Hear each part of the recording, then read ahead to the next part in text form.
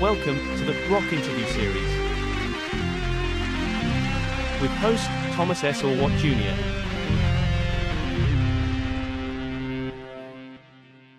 Welcome to episode number 52 of the Rock Interview Series. I'm Thomas Orwat Jr.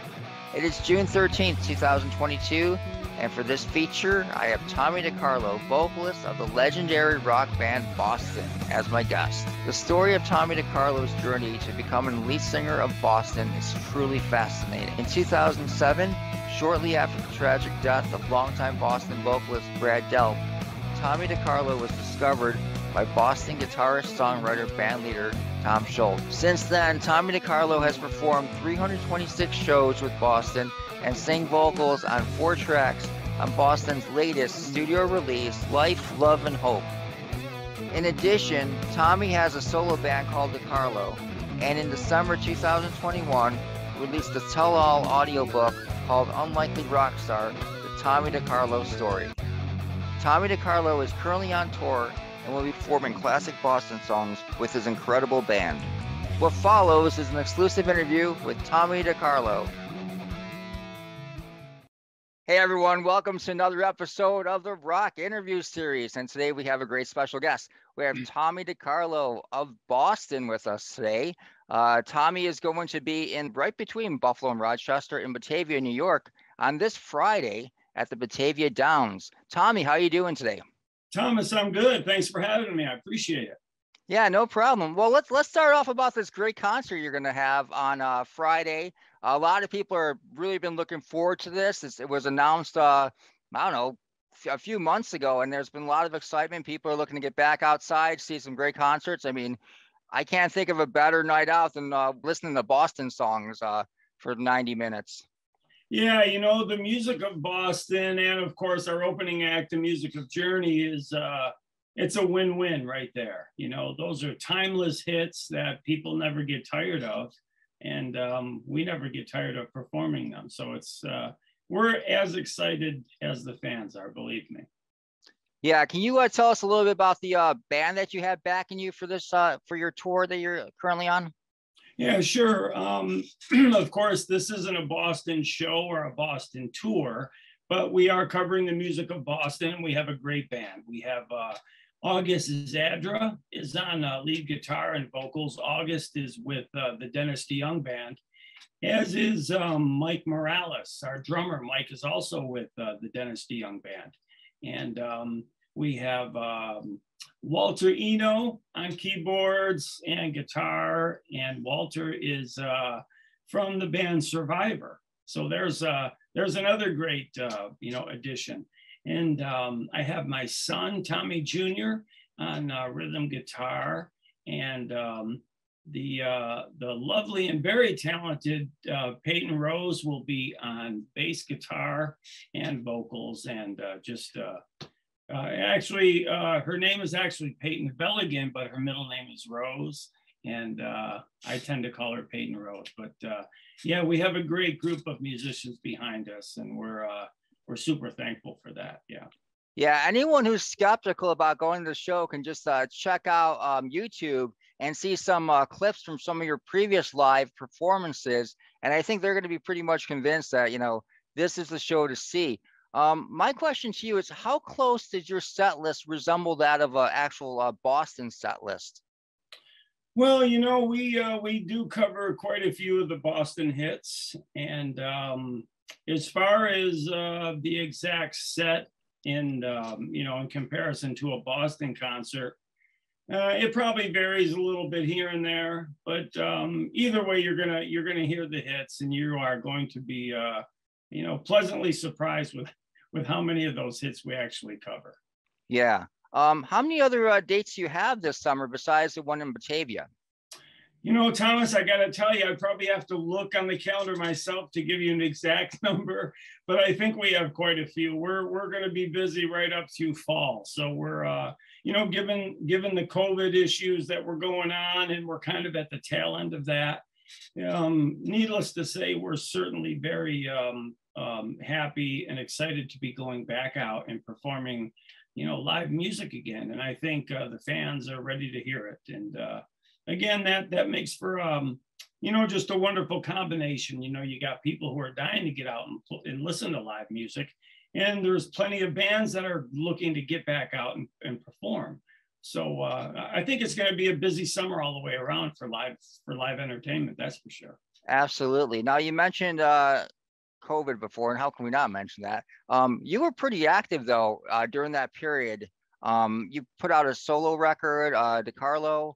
Uh, you also put out an audiobook, The Unlikely Rock Star, the Tommy Carlo story. Had a very unique step into rock and roll where you were actually working a normal job like most of us. You're working at Home Depot. And um, well, why don't you take it from there? What happened? So you're working at Home Depot, and all of a sudden you're in, the lead singer of Boston. How does that happen? Yeah, well, uh, of course, that came after the unfortunate suicide of, of uh, Boston original lead singer Brad Delp. And, um, you know, I hated to get an opportunity on the heels of something that sad and tragic, but um, that's basically where the opportunity came about. But um, I really have to go back and, um, you know, and thank Tom Scholz for, for that opportunity because uh, he gave a virtual unknown an opportunity to be a part of my favorite rock and roll band. And uh, um, I don't think I could ever even put into words how thankful I am to Tom for that. Um, but uh, yeah, I was just working a normal job. And after I heard about that unfortunate uh, situation with Brad Delp, um, my daughter helped me post a couple of uh, Boston cover songs that I recorded my vocals to and we put them up on a MySpace page. I had a MySpace page at the time, and um, that uh, is where I first introduced my my vocal abilities to the Boston fans, and um, I was really as surprised as anyone else to get some really positive feedback on those songs. It was uh, two of them, I, I believe it was uh, "Smoking" and "Don't Look Back" is what I recorded, and uh, somehow they made their way over to Tom Scholz, and uh, Tom uh, gave him a listen. He liked what he heard. And the next thing I know, I got a, a phone call from the band's publicist, and um, she was uh, just as, as kind and sweet as could be. And, and she sent me uh, an email and asked me to call her, and I did. And the next thing I know, Thomas, I'm on a I'm on a plane with my family flying up to Boston to perform with the band Boston at a uh, at a tribute show that was uh, Boston was going to be a part of um, to celebrate the life of Brad Delp, and that was back in 2000. Uh, uh, that was back in 2007, and uh, here, uh, gosh, you know, here we are in 2022, and um, I'm really still enjoying that ride and riding that wave. So. Um, once again, I, I, I, I honestly couldn't be more thankful for the opportunity that Tom gave me because that opportunity has led to so many other opportunities, including the opportunity to come to Batavia and rock out with the fans in, uh, in upstate New York. Yeah, we're like I said, we're very excited about that. Now you've played 326 shows with Boston. Um, tell me about that first show in August of 2007, that trivia show. What was it like for you before you like hit the stage with Boston to play that show? Yeah, it, it was uh, really surreal because just um, a few uh, a few years before, I was in the audience at a Boston concert watching the band. Um, so um, I definitely had better seats this time around, but uh, it was it was uh, very intimidating. Um, I didn't really know uh, what to expect or how to to act other than just sing the songs that I've always sang since I was a kid but it's de- it was definitely a little different doing it in front of a live audience. And believe it or not, I don't know if you know this or not, but Boston is the first band that I ever performed with. Um, so that night in Boston back in 2007 was the first time that I had ever taken the stage with a live band. And uh, I'm thankful that it worked out good. I had some nerves. If I go back and listen to that actual recording, I was a little nervous and you could hear it in my voice. But uh, thankfully, Tom heard something in my voice that he thought he could work with, and um, and he kind of you know stuck with me and and gave me an opportunity the following summer to go out on tour with the band, and that was my first in 2008. And uh, I, I want to say by the end of the tour, I was probably a better singer and performer by the end of that tour than I was at the beginning because at times I was clueless on what to do on stage. I just I didn't know what to do because I'd never been there before, but it certainly was a lot of fun and uh, and, and an experience that I'll never forget. When did you start really getting comfortable on stage playing with Boston? I don't think I've gotten comfortable yet, but um, I think uh, you know after that first tour, we we had uh, Tom took a few years off to work on the Life, Love, and Hope album, and that gave me some time to get myself in shape, not only physically but vocally. I was able to get myself in better shape, and really with every show and every well with every tour after that and every show i just you know you, you try to build confidence in, in the performance you had and you want to be the best you can be. And um, it took a little while though. I mean even till this day if if i went out if boston toured again and we went out on tour i'd probably be just as nervous. But talking to musicians over the years that i have met it's it's they're all, you know, it's nothing new. You know, no matter how many shows you do, you still get a little nervous. And uh, but the comfort is the music, and um, uh, just knowing the music and knowing that the fans love the music is uh, is definitely a, a help. But I don't know if I'll ever really truly get comfortable doing it. I have fun doing it, and after I hit a couple of high notes, then it gets fun because I'm I have more confidence to hit the next high note. So it's kind of like a domino effect. If, you know, if I if I do good early on in the show, it only builds, and by the end of the show, I'm I'm feeling great and having a good time. And uh, over the years, it it has worked the opposite. Where I've started out pretty rough, and then it kind of got a little bit rougher. But you know, I am human. Uh, you know, most singers are just. Uh, you know they're they're doing the best they can to sing the songs that uh, you know they're out there to, to perform and it isn't easy, but um, it is a lot of fun. And I would probably say 90 to 95% of the time, I'm pretty much on key and on point. So I'm thankful to be blessed with that gift and to be able to go out and perform, uh, you know, in front of a live audience. I think that's that's that's been a blessing, and it's been something that I never expected would happen in my lifetime. So, um, just uh, you know, again, just a wonderful blessing to be able to do that you're part of a, a record, Boston's last studio record, uh, Life, Love, and Hope, that was released in 2013. You recorded the vocals on uh, four of the tracks there. What was it like recording with Boston, and what was it like working with Tom in the studio? Well, having the opportunity to tour with the band was one thing but being able to uh, get an invite to go up to Tom's studio and record on uh, on a Boston album was uh, just a, a, huge bonus. I never expected anything like that, and um, it was uh, actually Tom made it incredibly easy. He's uh, super easy to work with, and uh, incredibly patient, and um, but he brings out the best in you at the same time because you know, you, you don't go up there to, you know, horse around. You're up there to do a job. And I came prepared. And, um, uh, you know, uh, we, I, it, there was a few trips involved. And, and, you know, by the time the record was done and uh, my work on the album uh, took, uh, you know, three, four uh, visits up to Boston, trips up to Boston. But um, it was great. I, I had a great time. And um, again, Tom made it really easy. And the music was great. So, you know, as soon as you hear it, you want to sing it. And that's one of the great things about the music of Boston and the songs that Tom has written over the years. You know, uh, you know, when when you hear those songs, you you automatically want to move and get excited. And for me, it's it, you know I'm able to um, release that excitement through through singing the songs.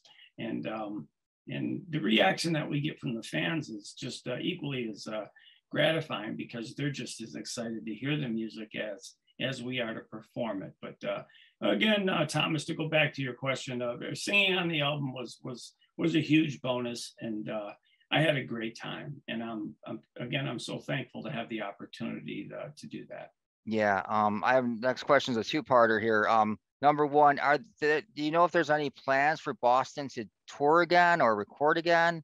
And uh, number two is, do you will you rec- um, include any of the uh, the one any of those four songs that you re- that you did the vocals with on that record on your live set? Um, I do not know of any plans of a Boston tour. Um, that would be a better question suited for Tom Scholz himself. And if you can get him on the phone, I'd be pretty impressed. Oh. But um, uh, I hope so. I hope that we get to go out again. You know, if Tom decides to take the band back out and do another tour, uh, certainly I'd be excited. I know the other band members would, and of course the fans would be thrilled. So, you know, time will tell. And uh, I guess the best way to uh, to look for updates would be to go to bandboston.com and check check for updates. Um, as far as the music of life, love, and hope in our set list, no, not yet but uh, there are a couple that we'd love to cover.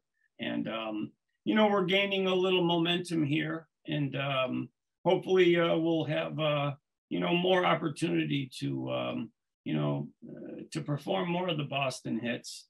But um, again, believe it or not, we cover quite a few of them. And uh, for, for me personally, I don't think there's a song on the record that isn't a hit on, on any of the records that Tom's written. So um, in my opinion, we're playing, you know, every song is a hit. And, um, and again, very well, uh, we get a great reception from the fans uh, from the songs that we do. Um, what was the uh, fan response to you as vocalist? Did, did you feel that they welcomed you right away or did you feel like you really had to prove yourself to get their approval? Um, yeah, you know, uh, it was kind of a double, kind of a double-edged sword there. Not only did I feel like I had to gain approval from the fans, but it meant something to me to be accepted by the band. And, you know, they were always very supportive. But something about taking the stage with the band members of your favorite rock and roll band, you know, you want to do your best not only for the fans, but you want to you want to be your best for your bandmates. And uh, so um, I think over the years, I have gained some respect from them. And, and given the fact that they've had me back for a number of tours, tells me that they like what they hear. And, and that means a lot to me. But as for a musician, uh, you know, I'm, I'm equally as thankful for them to be able to pull off this music live. I mean, Boston music is no joke to try to do that live. That's, you know, not just the singing, but performing. Um, you know, Tom has written some incredible music that is uh, you know very intricate. And um, it takes it takes a lot to pull that off live. So um, my hats off to the band boston for being able to do that. And when i listen to the songs when i'm singing them on stage in my ears it's as if i'm listening to the album. And uh, that's how good the band boston is live. Um, the music of boston i think we're, we're we're, we're awful close to that but like anything else, there's, you know, what the old saying, there's nothing like the real thing. And, uh, and, and I certainly love to perform with both bands. But uh, touring the music of Boston, when you got a Tom Scholz on stage and Gary Pihl, and uh, you know, be it Curly Smith or Jeff Neal and Tracy Ferrie or Beth Cohen, all of our bandmates, they're just amazing. And uh, and um, I would love to be able to go back out with the band Boston. Hopefully, we will do it again someday. But yeah. uh, the music is fantastic, and and and uh, the fans. Some fans have been a little bit tough. Um, uh, you know, I I don't sit around and read uh, you know posts online, but every now and again, someone will bring something to my attention. They'll say, "Oh, did you read this or did you read that?" And you know, for the most part, I want to say that they're all very positive and supportive. But like anything else, you know, they miss their favorite singer and Brad Delp, and I do too. You know, and um, it's hard to replace uh, an iconic vocalist like that. But I'm not trying to replace Brad. I'm just trying to be the best singer I can be when I'm up there performing and uh, performing the music of Boston. And um, you know, I do the best I can. Again, for the most part, I think um, the fans have been very receptive, and they are, uh, in my opinion, the best fans in the world. Boston fans are. Yeah, yeah, absolutely. I, I saw you uh, play uh, in the Buffalo area. Uh, you played at the Erie County Fair, and uh, I was very impressed. And you know, for someone that has never been in a band before, to come into a band like Boston and then replace probably like one of the best lead singers in rock history, one of the most challenging voices to try to cover. Man, that's quite an accomplishment. Well, you know, one of the things that I um, I'm most proud of when performing the music of Boston is there are a lot of um, a lot of bands have replacement singers, such as I am a replacement singer. And, um, but a lot of those bands from that era, they're they're playing those songs, some of them a half step to a full step down in key. Boston doesn't do that, which means I don't do that. And I'm very proud at 57 years old to be able to sing the music of Boston in the original key. And to me, that's where it sounds best. So uh, I'm, um, I'm, I'm, thankful to be able to do that. Uh, and, you know, speaking of that, at 57, I started with Boston, I was 42. And I honestly think I'm a better singer at 57 than I was at 42. So I'm, you know, I work hard at it and it means a lot to me to do it right and to be the best I can be. And, um, you know, hopefully, uh, you know, that's uh, will continue. Yeah. All right, Tommy. Well, I, I thank you very much for your time. I'm really looking forward to Friday's show. Um, any last uh, any last things you want to say to your uh, your fans watching today? Well, especially for the, the uh, upstate New York fans, it's always nice to come back home. As most of you know, I grew up in uh, Utica, New York, and um, I am uh, proud to say that I uh, I'm a North Utican at heart, and um, I believe I'm going to have some some of my John F. Kennedy High School classmates at our upstate New York shows, and that's a homecoming in and of itself. So it's very nice to be coming back home. But uh, we look forward to, to, to being there and, and performing, and uh, I hope that uh, as many of you come out to the show as possible. And uh, you're definitely going to get a double dose of, of Journey hits and Boston hits. And um, I think you're going to have a lot of fun. I know we are. Yes. And uh, where can uh, fans buy The Unlikely Rock Star? They can go to uh, two places. Uh, they can either get it on Amazon or they can go to uh, Audible. And again, uh, it's Unlikely Rock Star, the Tommy DeCarlo story. And that story will take you from childhood all the way up to the very first time I took to the stage with the band Boston. And you'll see, or you'll hear anyway, there were a lot of twists and turns and a lot of unexpected things in life that popped up that uh, that got me to that point in life. And um, it was fun to share that with the fans because as a fan myself, if one of my favorite rock stars came out with a book, I'd probably want to listen to it to see what their life was like. So, um, you know, although it seems like, you know, uh, you, know, rock rock stars just get an opportunity to be rock stars, and they didn't have another life, but you know, they all have, and I have too. And I think uh, I covered a lot of that in uh, Unlikely Rock Star. So if you uh, if you're interested in hearing that, um, again, you could give it a listen, uh, and that's over at Amazon or on Audible. Okay, sounds good. All right, Tommy, I'll see you on Friday night. You take it easy, all right? Thanks, Thomas. I appreciate your time. We'll see you soon. Okay. All so right. a lot. Bye bye. Yep.